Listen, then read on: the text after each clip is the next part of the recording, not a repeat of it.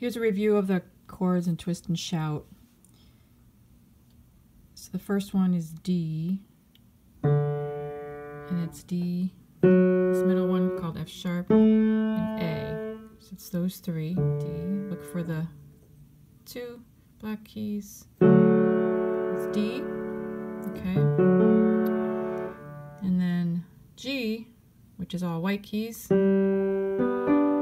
These three. So another way to kind of get your fingers used to the feel is try it always. Like the first note going up one after the other like that. Maybe even that way. Just sort of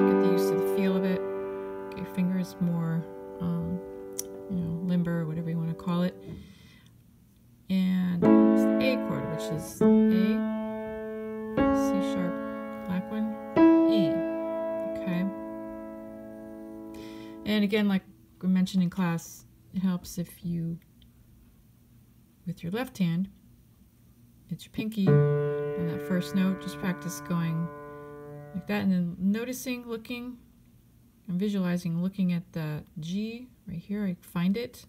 Take all the time you need to find it. Just got it. So you have your D, you know, D is right here. Take all the time you need to find that G. So think there's, you're skipping over two, right? Whoops, I'm not doing it. and, eh, and then find your G, and then bring your hand over. And of course, it's the next door neighbor. And then this one, look at your location. Keep your eyes focused on here while your, your pinky is here. And then bring it down. And then with together, just practice that shape of your hand. Okay? And it's this part of your finger, it's not necessarily like that claw, it's slightly angled, like that. Okay? And if you do it with your right hand, find the D with your thumb.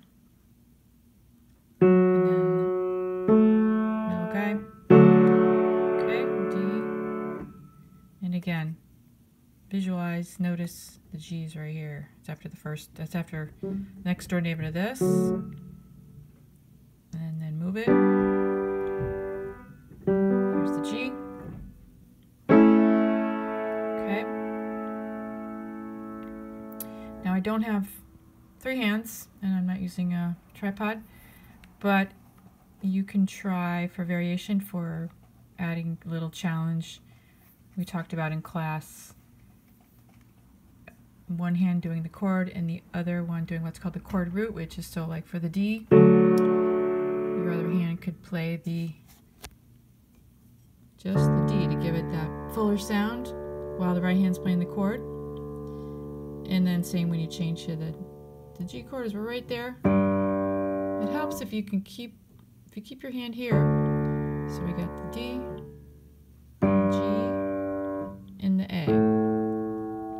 Now if you're really finding that difficult, you can do one at a time and move your hands together, like with just one finger. It's okay too, it helps you kind of get used to the distance.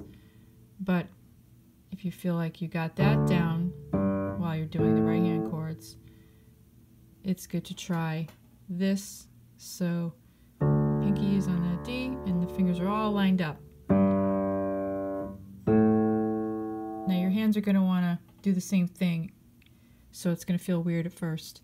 Um, so like your right hand, if you're doing the chords, and the right is going to be traveling, and your left hand is going to stay here. But it, you'll get used to it. And you can do the other way around with your left hand with the chords, and your right hand just doing the chord roots, which is the first note of the chord, the bottom note, what gives it its name.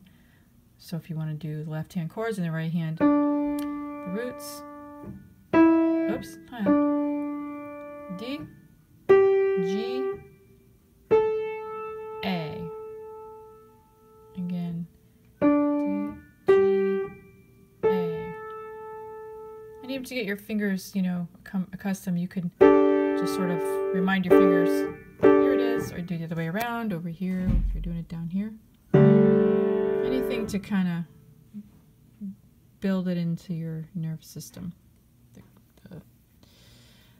muscles and nerves. And uh, I think that's it.